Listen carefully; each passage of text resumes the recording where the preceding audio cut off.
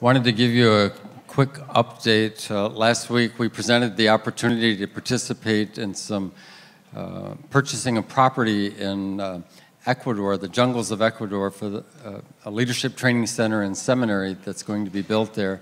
And the property cost $5,000, and so we asked our church family to consider uh, being a part of that. I'm happy to report to you today that last week almost $8,000 came in. Now let's just.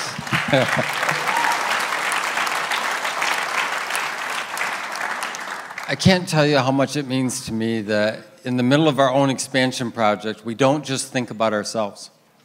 That our church family says that there are other places, there are other people, there are other things that God is doing, and we want to support that too. And so, in case you're wondering, does that mean that we pocket the uh, rest of the money? No, we're, we're going to send it all to them. That means that they can do a little bit more and a little bit faster, and so they will be thrilled. Uh, I get to send that email out to our missionary and let him know that, so I'm thrilled. We're continuing on. This is the ninth talk we've had in the book of Hebrews, and we're working our way through this uh, really remarkable uh, book, and we're in Hebrews chapter 11. This is probably the most famous chapter of the entire book of Hebrews, and it's kind of like the Hall of Fame for people who lived in faith. And so it begins by saying that now faith is confidence in what we hope for and assurance about what we do not see. This is what the ancients were commended for. By faith, we understand that the universe was formed at God's command, so that what is seen was not made out of what was visible. By faith, Abel brought God a better offering than Cain did. By faith, he was commended as righteous when God spoke well of his offerings. And by faith, Abel still speaks even though he is dead. By faith, Enoch was taken from this life so that he did not experience death. He could not be found because God had taken him away. For before he was taken, he was commended as one who pleased God, and without faith, it is impossible to please God because anyone who comes to him must believe that he exists and that he rewards those who earnestly seek him. By faith, Noah, when warned about things not yet seen, in holy fear built an ark to save his family. By his faith, he condemned the world and became heir of righteousness that is in keeping with faith. By faith, Abraham, when called to go to a place he would later receive as his inheritance, obeyed, and went, even though he did not know where he was going. So, when I say the word faith, what comes to your mind? For a lot of people, it's a set of doctrines or beliefs that you adhere to or espouse. For other people, faith feels more like a hopeful outlook. They have faith that it's going to work out okay. For some people, they feel like it's kind of this ethereal mystery thing that comes and goes and may be fragile because some people talk about losing their faith. Other people see faith as kind of a crutch, something you lean on when you can't stand on your own strength. And some people consider faith to be outright foolishness. It's not uncommon for intellectuals to consider people of faith to be superstitious and silly. And um, so there, there is uh, a lot of people who think that everything that happens in our world can be explained just by cause and effect. We, we don't need belief in something supernatural. Uh, here's the thing I want you to hear this morning we can't learn about something by dismissing it. And so we're not going to learn anything about faith by just putting it away. And this passage actually reveals some things about faith that is surprising to religious people as it is to unreligious people. This passage kind of startles us with these snapshots of history and the influence that people had in people's life and through people's life. So here's some things I'd like you to know. The first is that faith is more solid than you know. It's more solid than you know. The King James Version actually says faith is the substance of things hoped for. The NIV, NIV uses uh, words like confidence and assurance. Now, to be sure, there are people who think that faith is just a way to avoid dealing with real issues in life. In fact, you probably heard of a guy by the name of Karl Marx who said that religion was the opiate of the people. He thought that religion was just like a drug that you take that keeps you from paying attention to the oppression that's going on in the world. And so that's why people are still stuck in situations they shouldn't tolerate. So that's a question, right? Is faith just a drug people take to make them feel better while they are dying? And this passage says something remarkably different. Uh, the author of Hebrews says it's more than just a feeling. That we look at people who lived very different lives and faith influenced their lives in different ways. This isn't a cookie cutter thing, it, it, it's not a, a, reproduction thing in terms of getting the exact thing over and over again. Something very different. He points out some individuals, and I wish I had time to go through all the individuals that he talks about in Hebrews 11. We'll just take a few. And he says, By faith, Abel offered a better sacrifice. That's a really interesting concept. It's a, a better sacrifice. Uh, Abel wasn't interested in just maintaining the status quo, doing the bare minimum to get by. He actually wanted to do a, a better sacrifice. There are people who want their lives to be better and our world to be better. And it requires a kind of faith for that to happen. And the question is, whose offering was it better than? And the answer is it was better than Cain's offering. That was his brother. There are few things that will make us angrier than someone doing something better than we did it. Isn't it true? Uh, let's suppose that uh, you know there's a, a school reunion coming up. And so you know for a year this has been true. So you've been hitting the gym, watching your caloric intake, having some clothes tailor fit, adding color to your hair, just doing everything you can to look your absolute best. And you walk into the room to discover that the person that looked better than you 20 years ago still does. just ticks you off. How do they do that? It's not fair. Uh, we don't like to be told that someone has actually performed better than we have performed, or done more than we have done, or, or, or accomplished more than we have accomplished. It's a very bitter pill to swallow. It always has been. It started with Cain and Abel. We are not inspired by people who do better than us, we are incensed towards them. All someone has to do is succeed, and we will find reasons to criticize them. We want to bring them down a step or two. And that's what Cain does. He takes his brother's life. By the way, this is one of the reasons why Christianity is so offensive to people. You have to realize, for those of us that have kind of signed on and, and, and we believe this, we don't think in terms of offensiveness. But the Bible says that Jesus came and offered the better sacrifice. And that really annoys people because they want to believe that their efforts and their sacrifice is good enough. So people get very frustrated when they hear there's a sacrifice that was so good, it only happened, had to happen one time, and it was good for anyone who would avail themselves of it. It's just a remarkable thing. And, and then it says that Enoch, Enoch experienced something beyond death. He walked with God and just kept walking. I read a story one time that was written by a high school student that kind of created a story around this journey of Enoch. And he said, just one day when he was walking with God, God said, Well, you're closer to my house than you are to yours. Just come to my house.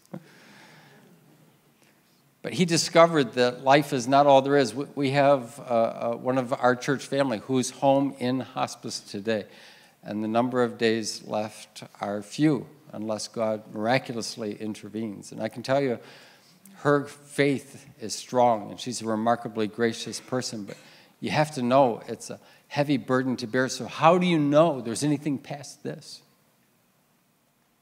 And faith helps us to figure that out. By faith, Noah built something that would rescue his family he wasn't just an angry voice yelling at people who got too close. How many have ever seen someone with one of those giant billboards or placards that they're carrying around saying that, that the world is going to end or that God is going to judge the world and destroy it? Has anybody ever seen that? If you've been to a Bills game, there's always a person there doing that. And, and if you're a Bills fan, it's kind of believable because we haven't had a lot of good news for a long time. Maybe this really is the end of the world. We don't know. But Noah discerned that destruction was coming and he chose not to ignore it and he chose not to blame people for it. He did something about it. He built something that would rescue people. That's a significant thing. That's what faith does. Faith doesn't just complain or blame. Faith says, I think I can do something that'll make a difference. And he does that, and his whole family is saved. Faith helped Abraham to take an adventurous journey that changed his life and the world. Faith is not about personal comfort. It's not about pain avoidance. There are a lot of people who think that's what faith is for. It's not. Faith is not about arranging our life so that nothing troubles us and nothing frustrates us and nothing scares us. That's not what faith is. Abraham left everything to go on this adventure. I'm going to come back to that in just a minute. Faith actually helps us understand that everything we see started with something that we can't see that all of life is not actually an accident, that there is a creator who has designed us with value and with worth, that he has a purpose and a plan. This is what faith begins to unpack for us. Now, people might expect that faith just provides positive feelings. It just makes you feel better. Feelings and faith are not the same thing. And here's what you need to know feelings make lousy decision makers. If you make your decisions based on your feelings, you're going to have a very bumpy ride. Because you're going to think you like people one day and you don't feel so good about them the next day. I mean, don't raise any hands. Don't even give knowing glances. Just stare straight ahead. Act like there's, this has no bearing on you. But have you felt completely in love and your feelings entirely positive every single day of your marriage? Mm, probably not. And I know some of you are saying it wasn't faith that kept me going. I don't think they're ever going to change. Just, I'm just not letting them off the hook that easy. That's, that's not faith. So faith is more solid than you know. Faith is also more than you know. It's more than what you know. This is kind of interesting. Some people think that if you pursue faith, you're not allowed to think, you're not allowed to learn. The Bible never instructs us to avoid knowledge. Faith is not intimidated by knowledge. Some people are afraid that if they advance their education, they're going to find a piece of information that just disintegrates their faith. That they'll learn something and, and it will just say, oh, that proves that God doesn't exist. You should know there are incredibly highly educated and brilliant people who have deep devotion to God. Our education doesn't destroy our faith. The problem with knowledge is not that it can destroy our faith or disprove our faith. The problem with knowledge is that it's capable of making us arrogant. Right? Isn't that what we say? We, we say someone is a know it. Oh, yeah, that's never a compliment. If someone said it to you, they were not being nice. Even in biblical learning, people can learn a lot about the Bible and they become, become arrogant about it. And faith actually leads to humility, not to arrogance. Knowing something doesn't mean you know everything, and what we know could be wrong or it could become outdated. Um, my uh, daughter has a daughter, almost a year old, and all the rules for parenting on, on how, what you're allowed to feed them and all the things about whether they can have a blanket in the bed, all those rules change like every five years. And I'm trying to figure out what, why are they changing? What's the difference? And there are people who just decide to try something and then they try to make a rule out of it. But in five years, it'll probably be outdated again. Increased knowledge benefits humanity. I'm grateful that if I get a scratch and it gets infected, it won't kill me. I can get an antibiotic and I will live to tell the tale. I'm grateful. I was 400 miles away from Rochester yesterday, and I got in my car and I'm here. I could travel at a pace faster than 20 miles a day. When you can only travel 20 miles a day, you don't go very far. So I'm grateful for all of that. And God intends that people use their intellectual capacity to benefit humanity. But of course, the challenge is, is that we don't just use our capacity to benefit humanity, sometimes we use our capacity to destroy humanity. And that's part of the human problem. So, education is not an enemy of faith. There's uh, four guys in the Old Testament. Their names are Daniel, Shadrach, Meshach, and Abednego. And they'd actually been abducted from their homeland and taken to Babylon. And the reason they were taken is because they showed a lot of potential. And so they were educated in all the math, the sciences, and the literature of Babylon. And when they took their tests, they actually exceeded, their, their scores excelled beyond everyone else's who was taking the test. But this is what's interesting their education did not destroy their faith. Their education, though, also did not make them brave. It was their faith that made them brave. When they were threatened with certain death and painful death, if they did not bow down and worship at the command of the king, an image that had been set up, it was their faith that helped them to be brave in that moment. It was their faith that gave them an option. Lots of other people had the same education, and when the command came from the king, they just dropped to the ground when they were told to. But Shadrach, Meshach, and Abednego had a different response, and it was faith that drove that. You don't have to check your brains at the door when you walk into a faith community. If somebody asks you not to learn and not to think and not to question, it is not faith that is motivating them, it is fear. And in our culture, there's a lot of fear that masquerades as faith. So faith is more than what you know. And uh, I seem to be going backwards. Faith enables you to go. Abraham's life was as good as you could want it to be in the ancient world. He had resources, he had family, he had influence, and on the further end of his age range, God whispers to his heart and tells him he needs to leave where he is. God told him, He said, I will lead you to a place, but He didn't tell him where it was. And He didn't tell him how long it would take to get there. So, why would Abraham even consider that option? I mean, what if it didn't work out? What if he failed? What if he lost everything? You know, what's driving his behavior to, to consider doing this? There are some people who wonder was he just bored? Just gotta, I gotta get out of this place and do something. Was, was he frustrated with uh, the political system or with his family? Was he afraid of something where he was? And scripture reveals that none of those things drove his behavior. What drove his decision to follow that prompting to step out was faith. And that's exactly the opposite. This surprises us. It's the exact opposite of how some people think about faith. They think that faith is supposed to make life easier and more predictable. We don't want any anxiety. We don't want to feel any risk. And that's not how Scripture talks about faith. Now, don't get me wrong, faith is not just risk taking behavior. Faith is not about taking risks. Faith is about being obedient to God regardless of the risk. That's the difference. Faith is trusting that God's intention towards you is actually good. And, it's, and this is interesting it's willing to take a step even when you don't know how long or how far you're going to go. The Bible says we walk by faith. One step after another step after another step. And this is what's fascinating. Every step that Abraham takes out of the land of Ur, every step he takes away from his homeland, when he takes that step, he sees himself a little bit differently. He sees his community a little bit differently. And he sees God a little bit differently.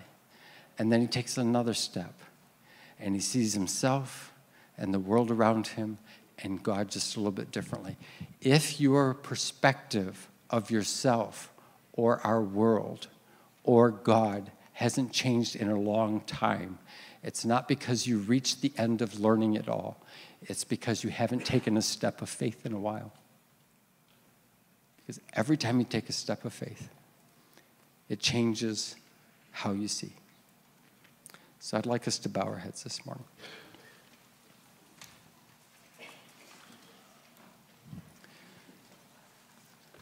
So, this is the question I can imagine you asking, and if you haven't imagined it yet, as soon as I say these questions, you'll, it'll make sense to you. So, what might God ask me to do? Where might God ask me to go? What might God require of me or ask me to let go of? And I don't know the answer to those questions. But don't you want to know the answer to those questions? We will never discover the purpose that God has created us for or step into the fullness that He has for us by just always choosing comfort over everything else. If we only operate in what we know, we can't get to where God wants us. So, this journey of faith becomes mission critical. That there are things that are more important than our comfort or our security or reducing all of our anxiety or making our life so predictable. That's not that's not what the life of faith is about. It's an adventure, it's a discovery. And every step you take, you gain kind of a new perspective and a, a, a greater depth of understanding about who you are, about who is around you, and about a God who's leading you. Don't you want to know what that is? So here's what I'd like you to do just while your head is bowed and your eyes are closed, I'm going to give you about 30 seconds, and I just want you to ask God, what's the next step? Don't ask Him, where's this all going? Don't ask Him, how much is this going to cost me? All of those things are a long way down the journey. Ask Him, what's the next step you want me to take? And I want you to pay attention to the thoughts that come to you. I can't guarantee that they're from God, but they could be. And wouldn't you want to know if they were? So let's just take a half a minute.